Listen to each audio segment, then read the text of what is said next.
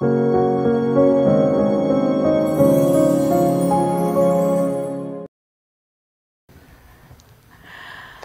morning. God be with you, precious, loved children of God. And because we are precious and loved, then no matter what's happening in our life, we can say, It is well with my soul. Let's pray. Great God, thank you that you are in this space. Lord, help me to not get in your way. Help everyone to hear the message that you want them to hear. Thank you, God. Amen. Okay. All right. When I spoke in March, I invited everyone to have the mindset of Christ, uh, being God's servant and helping others to know about God's love and belonging. And I encouraged everyone to get out of their comfort zone and try and meet new people, get to know new people in the church. My hope is that you're doing that and, and hopefully it's going well. we're human, we're fallible, it may or may not be going well.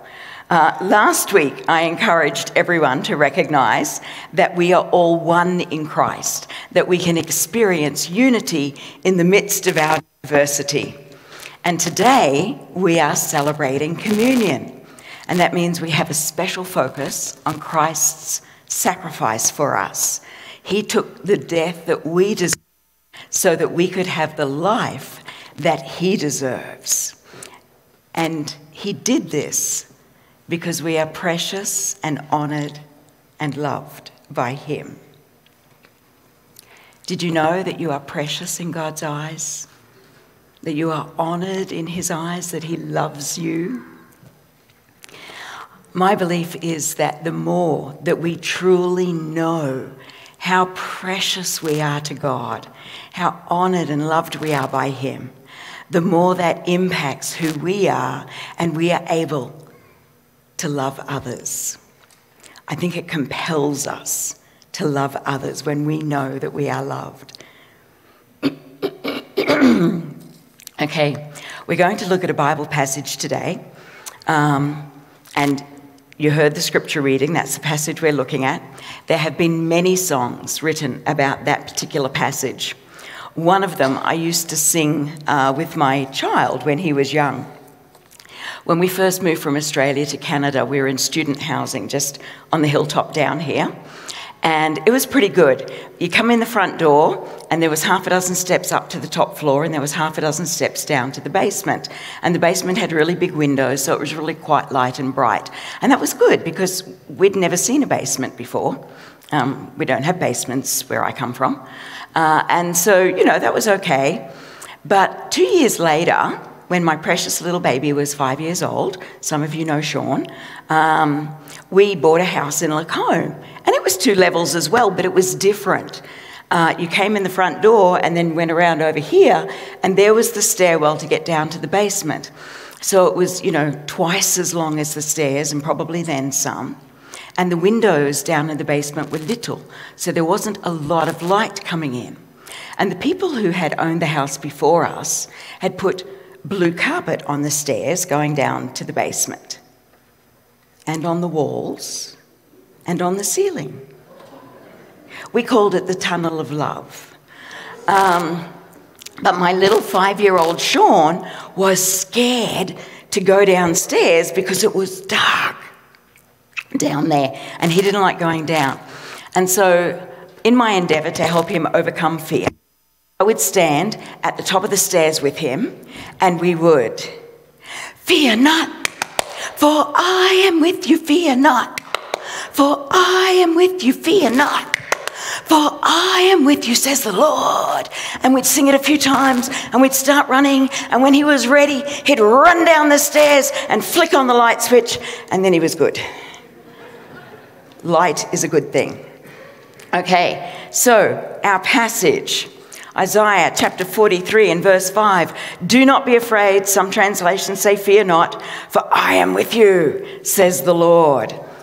This is a good thing. But our whole passage, this is in a passage, and I want us to look at the whole passage today. I was studying it recently and discovered something that I thought was really exciting, so I want to share it. It's really sad for everyone else who doesn't get that chance. You discover exciting things and you might want to share them, but you don't position. So I'm lucky. Okay, we'll read through it again. Now,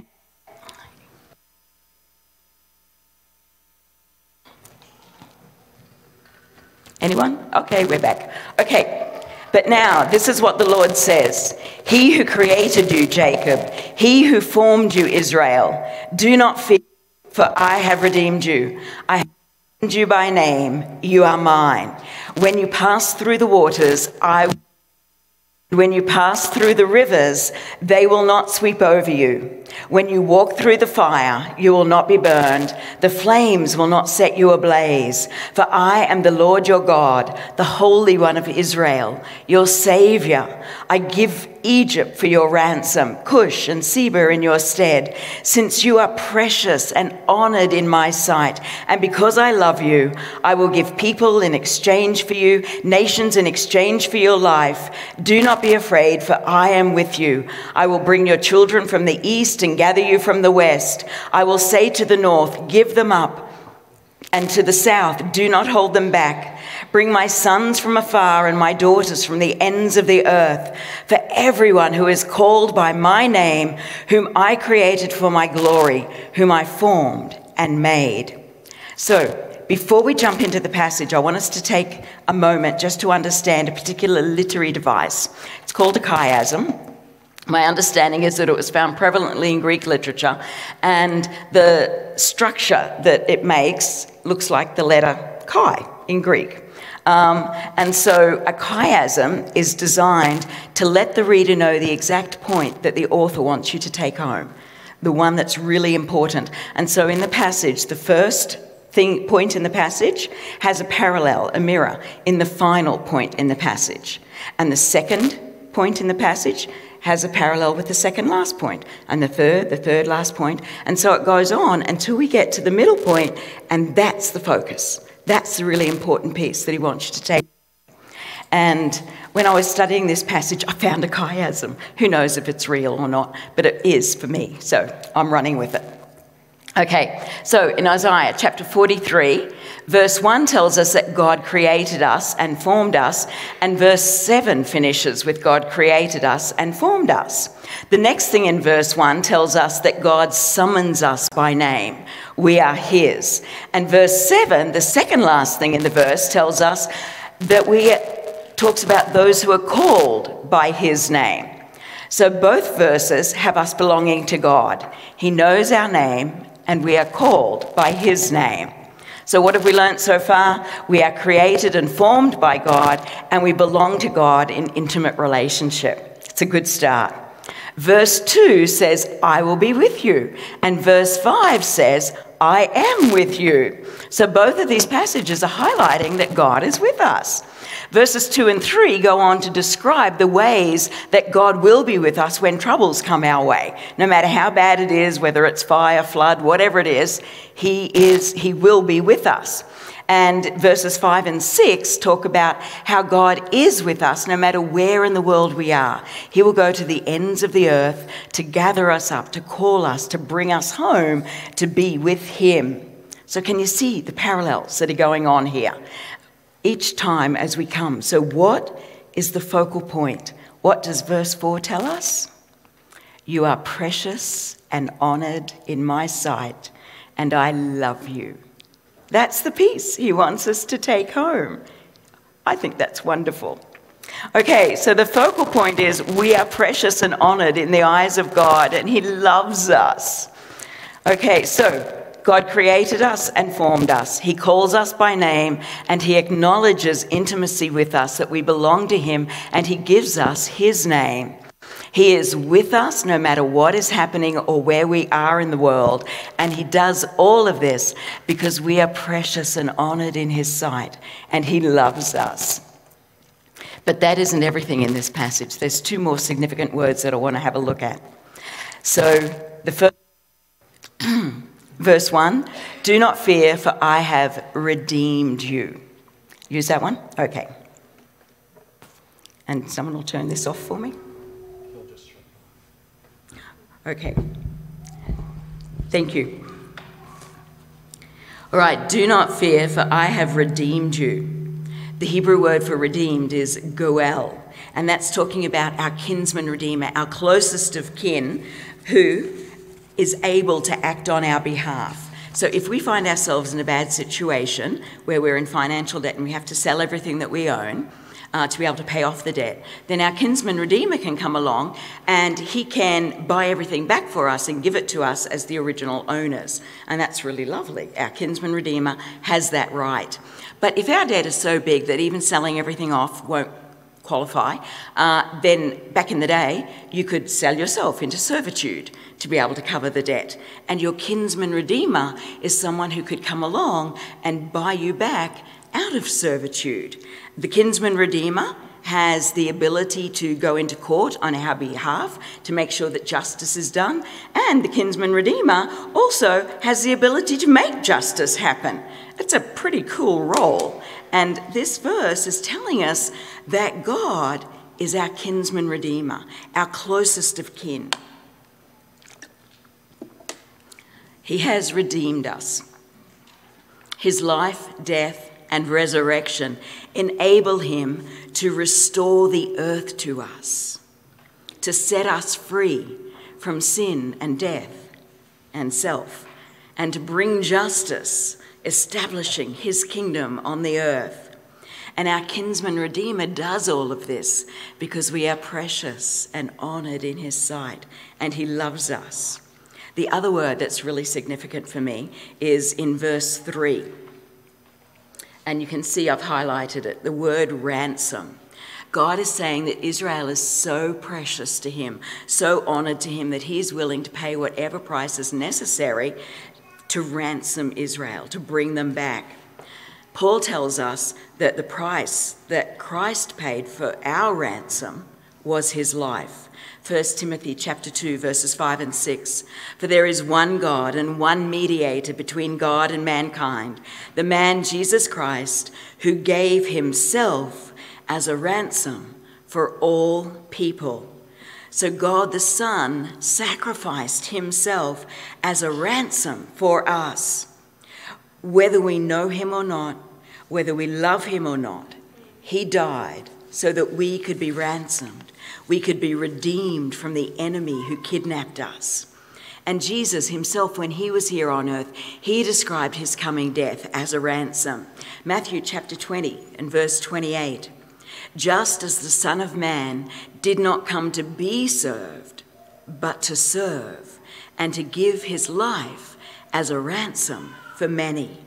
So Jesus put his stuff, being God, on hold while he came down here to be one with us and to redeem us by being our ransom.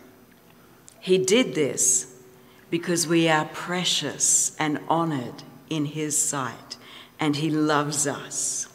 And the more we experience his amazing love, the more we are compelled by his love to be like him to put our stuff on hold and make ourselves available to serve others.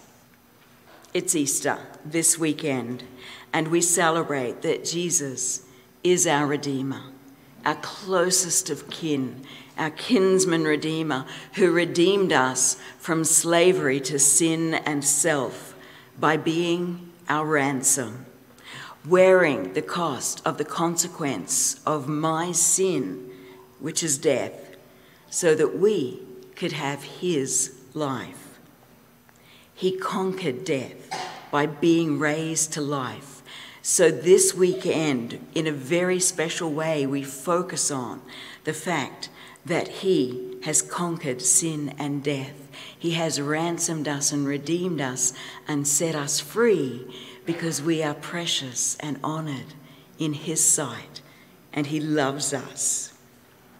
Throughout the rest of this service, I would invite you to really contemplate on God's radical, extravagant love for us, the radical lengths to which He was willing to go so that we could have life.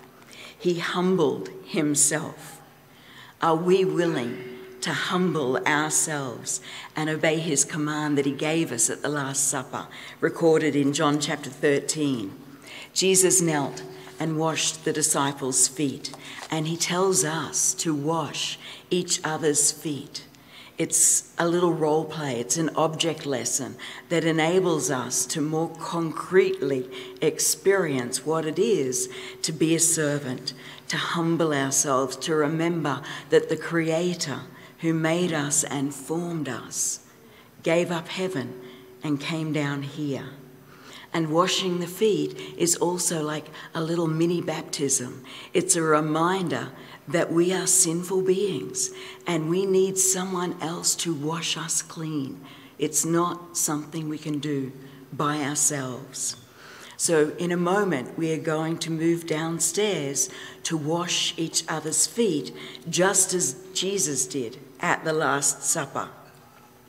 After we have washed each other's feet, we will come back up here into this space and we will complete the other stuff that Jesus did at the Last Supper that he invited us to do in remembrance of him. Now, just remember the rooms downstairs are slightly different from what they have been in the past. You can take your bulletin, they're listed in the bulletin, and my understanding is there's also signs on the doors downstairs. And we have rooms for ladies only, men only, for couples, and for families. So wherever you want to fit, we've got it covered. Uh, while people are going downstairs to wash their feet, we're going to have a children's story up here for the kids that don't want to go downstairs. Um, and then after that, we're going to have a time of singing praises so that as you come back into the sanctuary, you can walk in just singing praises to the Lord. And as you return, you'll be receiving at the entryways the little cup of grape juice and the wafer to be able to participate in the rest of the service. So I would invite you now, oops, to relocate for foot washing. God bless you.